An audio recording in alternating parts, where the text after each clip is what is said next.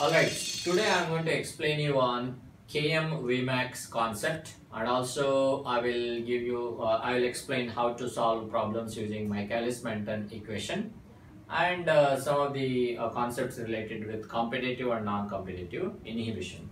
So let's uh, understand what is Km. So I'm drawing a figure here with x-axis which indicates substrate concentration and y-axis indicates initial velocity of the reaction. Now, as you go on giving the substrate concentration, substrate, as you go on increasing the substrate, keeping enzyme concentration constant, so your velocity curve goes something like this.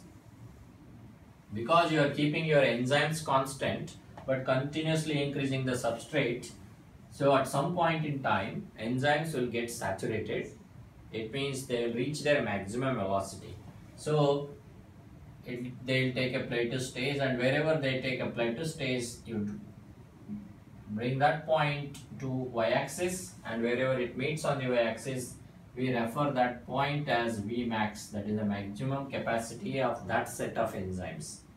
Now, take half of that Vmax, half of the maximum velocity and say this is the half of the maximum velocity and take that line, interpolate it to the velocity curve, bring it down to the x-axis. Wherever it meets on the x-axis, we call that as Km of that particular enzyme. And Km is a signature of an enzyme for that particular substrate. It doesn't change. Okay. Now let's understand, it means by definition, Km is a substrate concentration at which enzyme reaches half of the maximum velocity. This is the half maximum velocity, half Vmax, half of the maximum velocity. Km is the substrate concentration at which enzyme reaches half maximum velocity. Now let's understand what is the exact meaning of Km here. Km for each enzyme they are different. So before I explain what is exact uh, the meaning there, so let's see the Km. If the Km is equals 0.05 millimolar, the Km is 0.505 millimolar, especially for glucose, say hexokinase enzyme, hexokinase, hexokinase has got 0.05 millimoles of glucose for as its Km. It means at 0.05 millimolar of glucose, hexokinase reaches its half the maximum velocity. Now let's take another example. Km of glucokinase is 5 millimolar, which is 100 times more than hexokinase.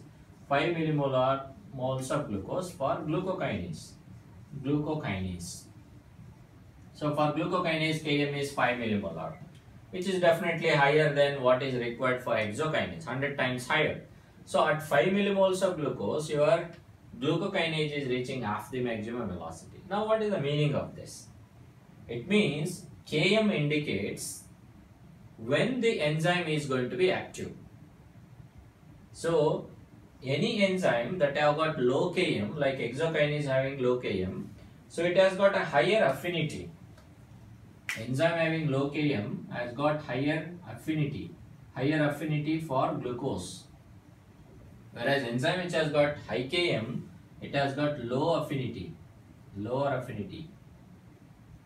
It means hexokinase will be active when there is when even when there is low blood glucose is available in the blood whereas glucokinase will be active only when there is plenty of glucose is present in the blood it basically indicates km indicates when the enzyme is going to be active just to give you an example consider that i am eating only when there is plenty of food available if there is no the, the food is not plenty so I'm not going to eat. I'll just leave it for somebody else.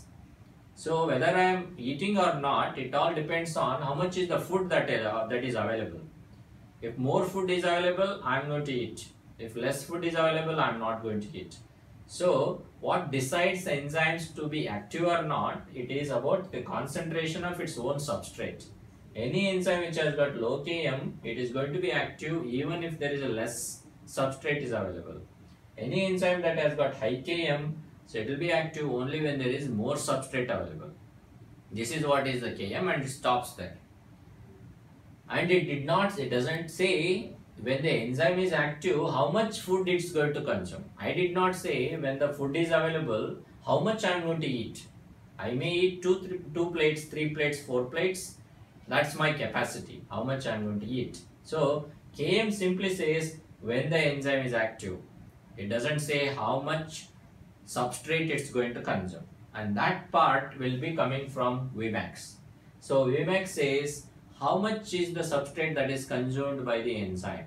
Okay, it means it says how many plates of food I am going to eat whenever I am getting, uh, whenever I have a plenty of food available, how many plates I am going to eat. So that's my ability, that's my capacity. So Vmax indicates the capacity or the ability of enzyme to consume substrate. For hexokinase, it will, it will have a lower Vmax, whereas glucokinase will have a higher Vmax. It simply says that hexokinase will use less substrate when it is available because it's going to saturate early whereas glucokinase will use more substrate convert that into product and that's what the and it has got a high Vmax it's going to convert glucose into glucose 6 phosphate as long as you are providing glucose okay that is what comes from the Vmax so Km says when the enzyme is active Vmax says what is the capacity or the ability of that particular enzyme. That's about Km and Vmax.